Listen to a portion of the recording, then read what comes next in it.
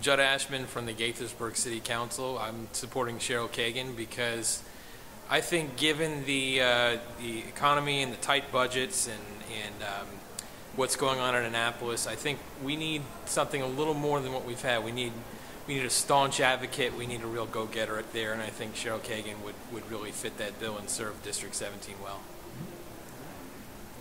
Cool. I have the privilege of serving on the council in the great city of Gaithersburg. In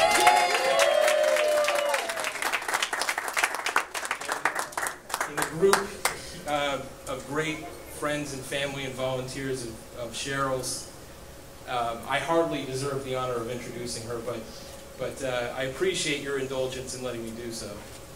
Um, America loves stories about people who uh, work hard and achieve something.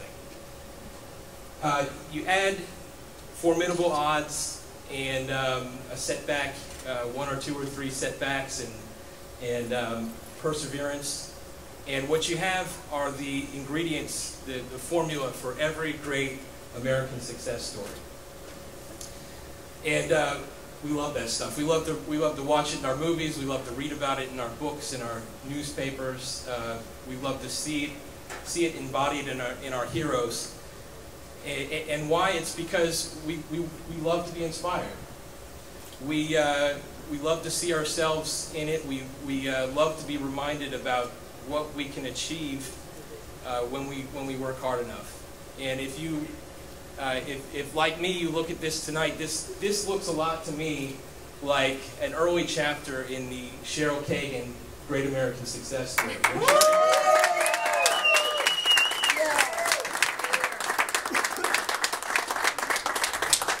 Now, I love those stories too, but I have to be honest with you. That way back when at the beginning, I was not inclined to be a supporter of Cheryl Kagan's. I knew. I, I kind of figured. I kind of figured I'd get that response. Um, it's not that I, I didn't like Cheryl. I liked her fine. It, but the thing is, I, I also like Jennie Forehand, and I still like Jennie Forehand. And without a great deal of consideration, um, I was I was satisfied with the service, with the representation that we were getting in Annapolis. Um, basically, you get used to what you got, and you have to get used to. it. You have to make do with it.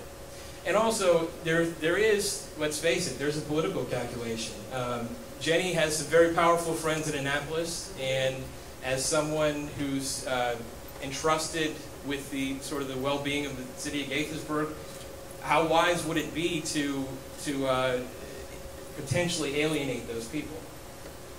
But it comes down, when it, you know, when it comes down to it, it's about more than a calculation, and I'll tell you why. Over the last year and more, I've watched Cheryl Kagan work as hard or harder than anybody I've ever seen.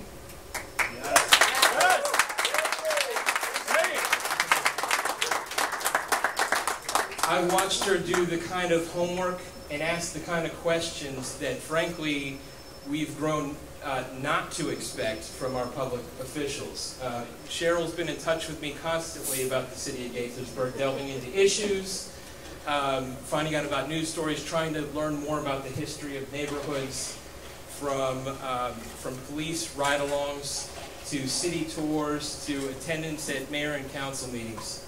I've watched Cheryl Kagan invest her smarts and her, um, her experience and her energy and her passion into everything she's done.